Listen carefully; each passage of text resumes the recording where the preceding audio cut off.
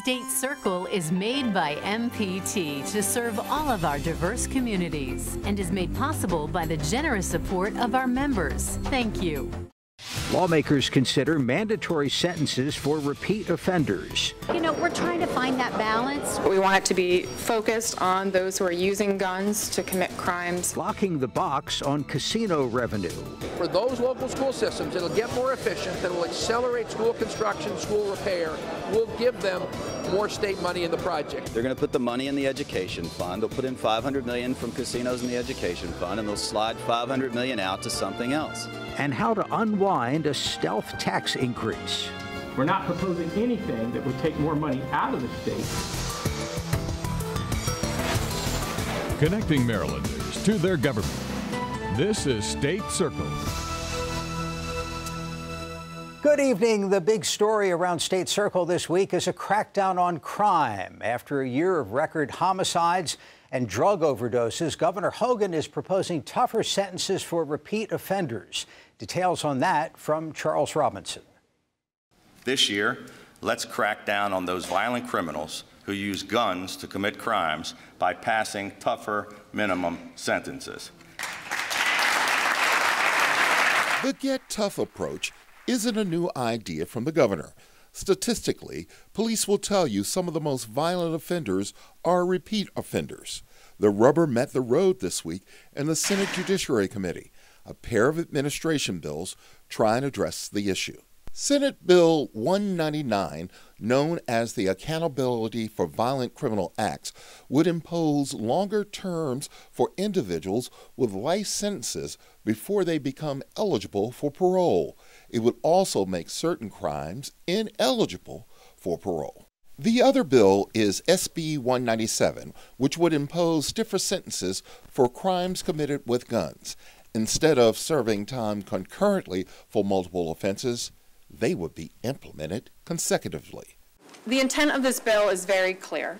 It's to go after violent offenders who use firearms to commit crimes, particularly those who do so repeatedly. I assume the governor's targeting this is a lot of the, the violence and, and murder in Baltimore has been the result of people, drug trafficking and, and carrying guns, correct?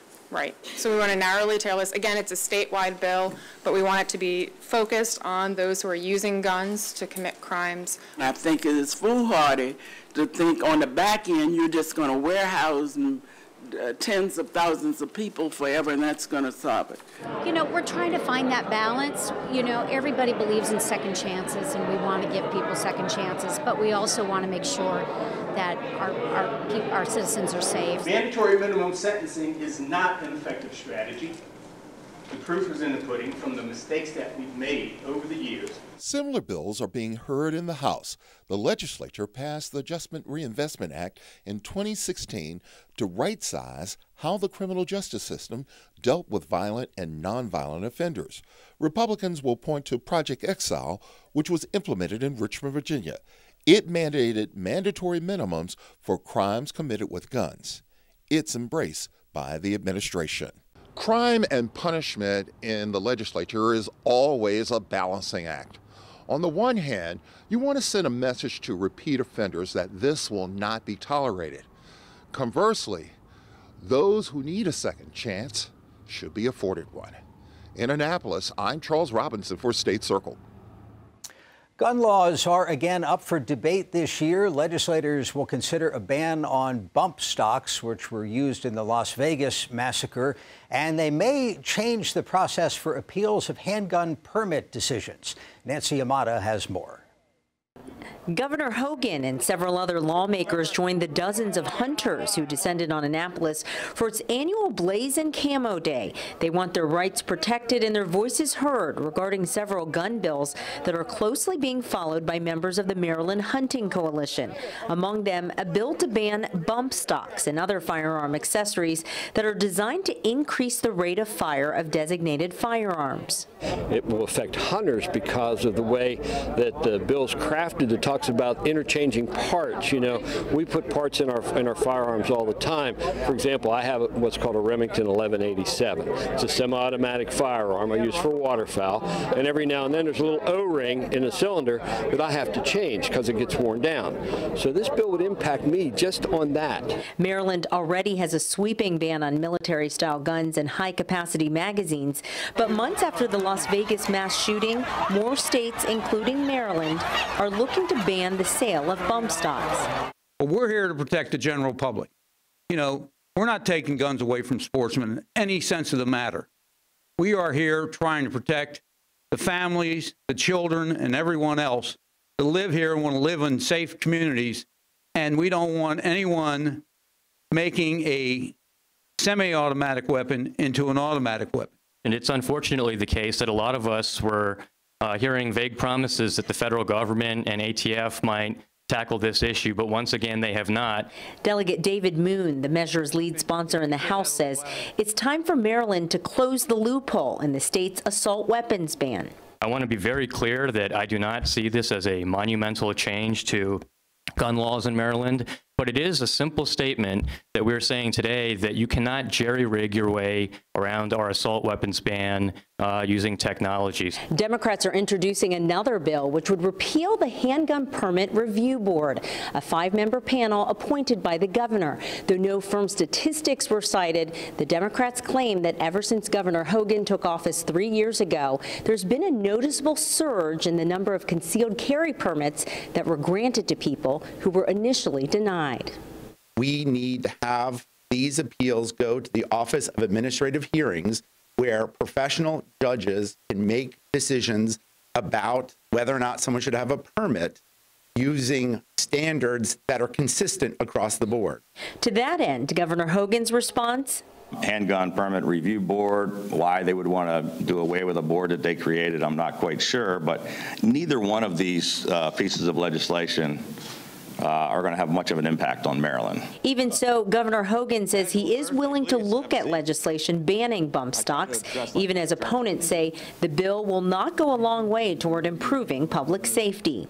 Well, it's a little tiresome to see all these proposals that don't affect the number of folks who are killed in Baltimore. Long, this this uh, legislation is aimed at uh, long guns, which are used almost never by criminals. We sit in, in Judicial Proceedings Committee on a day-to-day basis and constantly ask folks, where's the data that shows that people who are lawfully in possession of firearms are committing the killings? It's not happening. I'm Nancy Yamada for State Circle.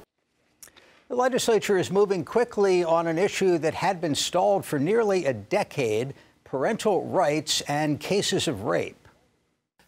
I'm glad we're passing it for the ninth time, and I hope the House steps up to the plate and gets it out and gets it on the governor's desk. No woman, no victim should ever, ever, if she's been raped, have to deal with first the rape and then having to, as they say, negotiate with rapists.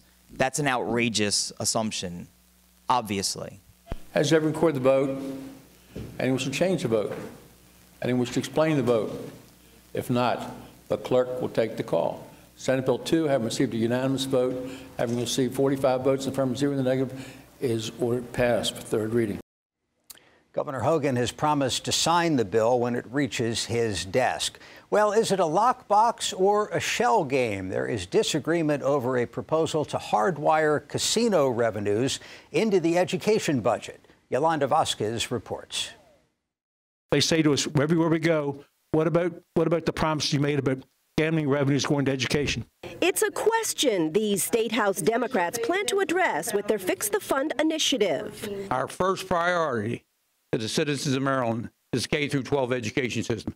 Everybody in every community across the state identifies with our school system. The bill, which is being drafted by House Appropriations Chair Delegate Maggie McIntosh, would put a lockbox on casino money, requiring it to be used to enhance school funding formulas. We have to renew our commitment to our number one constitutional duty, and that is to provide an adequate education for the school children of, of uh, this state.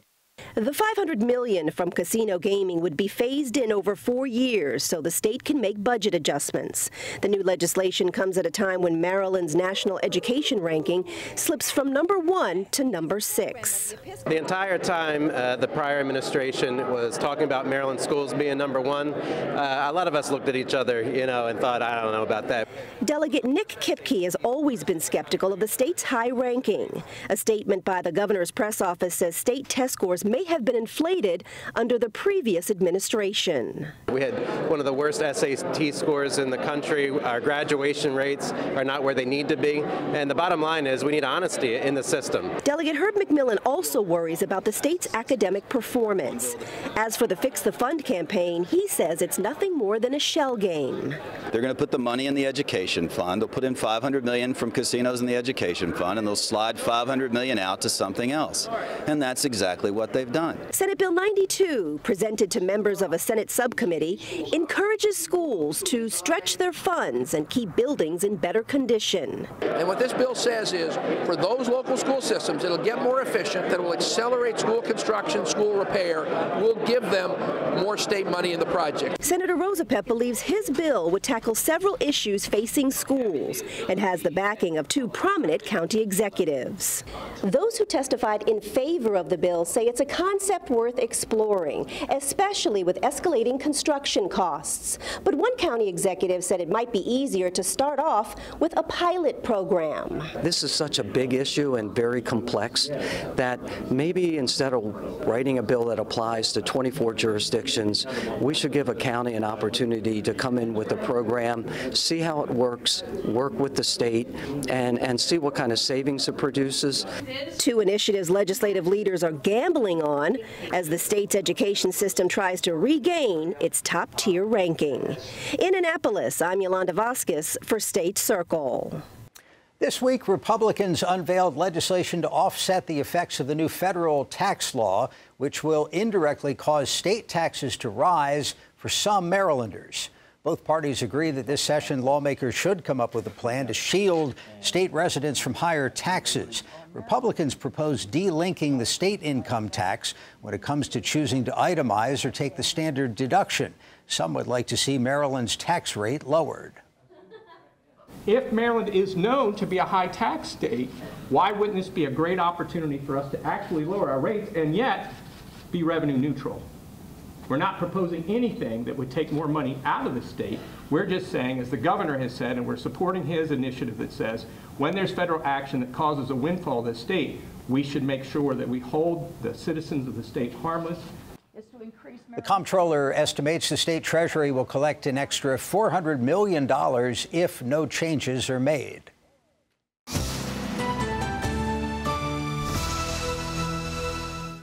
Our newsmaker this week is Major General Linda Singh, the Adjutant General of the Maryland National Guard. Thank you for being with us. Thank you so much for having me today. Good to see you. The, the governor has named you to chair a commission on the 100th anniversary of the 19th Amendment to the Constitution. How, how do you see that mission?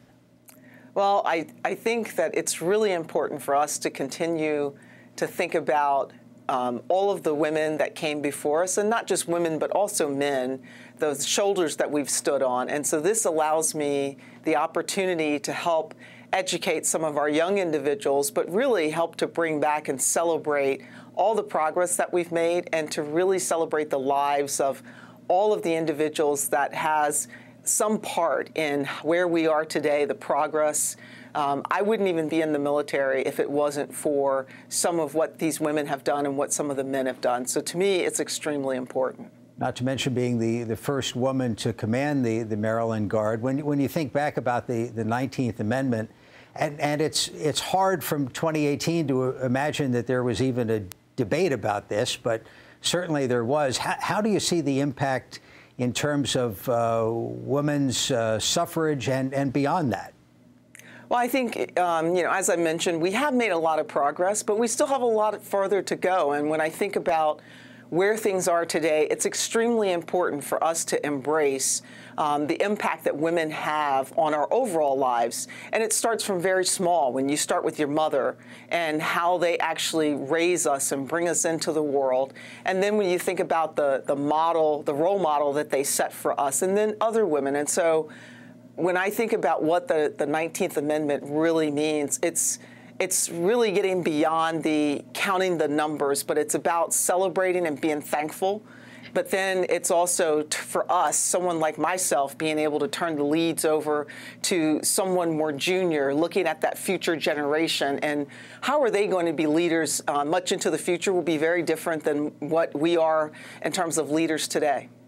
What, kind of uh, commemoration is this commission working on? Because when I take a quick look uh, back at history, I believe that Maryland was not exactly in the forefront uh, certainly on, on approving the, the constitutional amendment. So, what's on the table in terms of how this will be commemorated? And the anniversary, I think, is 2020. That's correct. So the anniversary is 2020. So we're looking at having a number of events leading up to that within Maryland that highlights all of the important places. So we'll be putting out markers, roadside markers that will actually highlight important places that took place uh, during the, the 19th Amendment. And even though Maryland wasn't necessarily one of the first states that signed, um, they were very, very active during that time frame. And so we want to highlight our history there. And when we think about the events, we have an event coming up on March 3rd in Hyattsville, which is an extremely important one where we're going to be placing uh, a marker in the, in the city of Hyattsville and kind of celebrating as a kickoff event right before International Women's Day. And then if I was to think about um, where we go from there, it's having more of those events, it's having more educational events, and then leading up to what I would like to see a very large international um, I say an international, but looking at with partnering with D.C., Pennsylvania, and some of the other states that were very key on the on the eastern border of um, what happened during the 19th Amendment, for us to kind of partner and really have a very big march that would lead up to that, and it's really a celebration march, and I and I would say it's not just marching, but it's having educational events where we could really look at what does it mean to be a woman leader in today's environment? Uh, what will it mean for the future generation? Because um, it's it's great to be able to look at the past, but what's important is what do we as women leaders do today to to actually um, help to set up that future generation for success. From a, a, personal standpoint, and, and many people know your your personal story, uh, great success, obviously in the in the military, but also in the corporate world after a, a, uh, a difficult uh, start in in life. When, when you talk to, to young people under your command, particularly women, what's your message in, in general and, and in the context of, of service in the Guard? Well, I mean, my message to, to women um, is very similar to my message to men, is that you got to be competent. You have to be confident in your skills and ability. You have to show up every single day. Because regardless of whether you're a man or a woman, if you don't show up every single day, then you're not going to achieve the level of success. And so to me, getting those messages across is extremely important, but also valuing diversity. And it's more than just diversity of how someone looks, it's valuing the diversity of their capabilities and the fact that just because they're different than you are does not make them any less of a capable leader. And so it's really stressing that and stressing how we can be um, teaming partners to be able to deliver on a solution. And those are the types of things that I focus in on. Lastly, uh, for uh, 2018 status of the uh, the Maryland uh, National Guard, the Maryland Air Guard, what, what are the priorities for this year?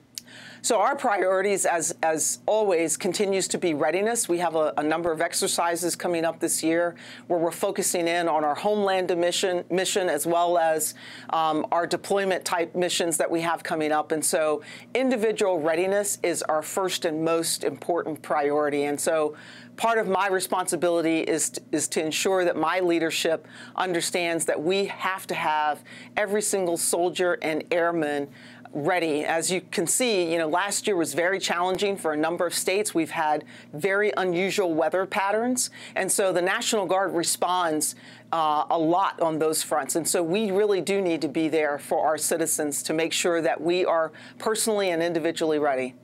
Major General Linda Singh, thank you very much for your time. Thank you so much. And we're back with a political roundtable right after this. We are the curious. Wow. the adventurous. Oh. Those venturing out for the first time. And those who've never lost our sense of wonder. Whoa. You seeing this? We are the hungry. The strong. I must be the greatest. The joyful. A happy little cloud. We believe there is always more we can uncover. More we can explore. We believe in the capacity for goodness. And the potential for greatness. The torch has been passed to a new generation of Americans. PBS. PBS. PBS.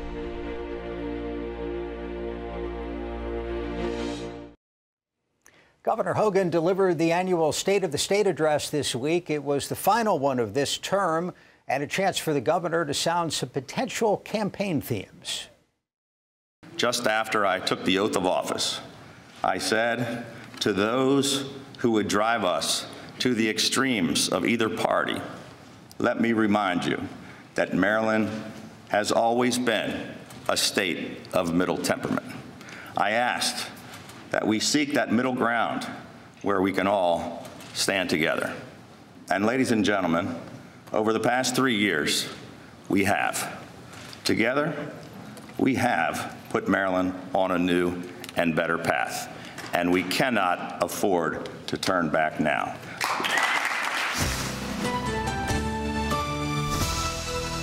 And joining us from the State House this week, reporter Rachel Baye of WYPR Radio. Rachel, thanks for being with us. Let's start with the, the state of the state, your, your impressions of, of the speech. It, it, was definitely a speech that emphasized bipartisanship. It, it felt a lot like a campaign speech, honestly. Um, in contrast with some past years, there was a little bit less talk about policy initiatives and more talk about what the governor has done over the last three years of his term here in Annapolis. So we saw Republicans jumping to their feet to applaud. We saw Democrats at times applauding, at times uh, not. Uh, what did Democrats have to say after the speech? So Democrats were really critical, uh, really critical of the speech, primarily in terms of what Hogan didn't discuss. So uh, a couple of Baltimore legislators, for example, said, you know, Baltimore was only mentioned once, and that was in relation to the port of Baltimore. They, uh, the governor didn't talk about a lot of Baltimore-specific uh, issues. And there were also talks about the Black, uh, Legislative Black Caucus leader, Cheryl Glenn, uh, said that they didn't, that uh, pointed out that Governor Hogan didn't talk about medical marijuana, which is their top priority issue. Um, even within the things that he did talk about, Democrats were quick to point out uh, that he that the governor left out key things that they would have wanted to hear. They, they really were looking for uh, pretty much any point that they could criticize the governor on, given that again it is an election year and this was a it was uh, an opportunity to really display uh, partisan divides in that way. You know, uh, talking to a, a, lot of people uh, in the press room uh, there after the speech, the consensus was it was not, it, it was sort of businesslike. It was not a, a barn burner kind of speech. There was an editorial in The Sun this week that took note of that and said that perhaps that was another way of differentiating Governor Hogan and his State of the State from President Trump and his State of the Union, which had happened just hours earlier. Right. And, and you know, it, it is remarkable that uh, of all the Democrats I spoke with, very few actually criticized um, what Hogan did say. It was really, the criticism was what was left out of the speech because what was in the speech was really, um, he, the governor bookended the speech with discussion of uh, bipartisanship and, and, specifically contrasted Annapolis with Washington in terms of striving for that bipartisan uh, bipartisanship here in Annapolis. Well, speaking of differences between Washington and Annapolis, uh, this week, Attorney General Brian Frosh announced that he will be uh, suing the federal government, uh, critical of the legality of the new federal tax law. What's the complaint? Yeah, the complaint uh, and, and I, I, haven't spoken with uh, Attorney General Frosh specifically about this complaint, but, but in the past, when this possibility was raised, uh, there was discussion of joining the, the suit that Governor Cuomo in New York has, has mentioned. Uh, and it's really an argument about equal uh, applicability to the states, that the, the, specifically the cap on the state and local tax deduction uh, affects certain states differently than it affects other states. Governor Hogan uh, revealed this week that uh, this weekend he gets to go to the dermatologist to have some uh, pretty basic uh, skin cancer work, some uh, relatively minor things removed. Um, what do we know about this? And, and we don't believe in, in, just 30 seconds that this is connected at all to his previous treatment for lymphoma. No, it's it's not at all connected to his non-Hodgkin's lymphoma. Uh, he emphasized that this is very minor. It's basal and squamous cell uh, carcinoma, uh, and it's non-melanoma. It's supposed to be a very quick procedure, he says, uh, and he expects to be back at work on Monday. Well, we hope everything works out well for the governor this weekend. Rachel Baye, WYPR, you can hear her at 88.1. You can read her reports at WYPR.org. Rachel, thanks for making time for us. My pleasure. That is our program for this week. Tune in every week at this time as we bring the State House to your house. You can also connect with State Circle online. Streaming videos of our programs can be found at video.mpt.tv. Monday on Direct Connection, expert advice on preventing and treating heart disease. Join us for that Monday at 7. Now, for all of us at MPT, I'm Jeff Salkin. Thanks for watching and have a good night.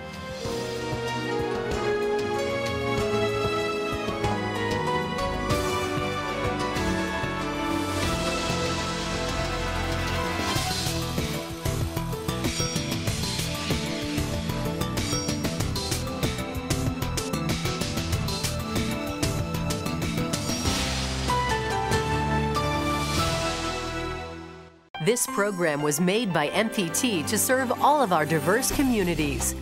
TV Worth Watching is supported by the members of MPT and by the University of Maryland Center for Environmental Science welcomes new president Dr. Peter Goodwin, guiding our state, nation, and world toward a more sustainable future. Find out more at umces.edu. At Keswick, our adult day program is tailored to each individual. With a registered nurse, social worker, dietitian, and therapists on staff, your family member will be part of a highly engaging memory care program that treats both mind and body. Learn more at choosekeswick.org. Artworks is MPT's weekly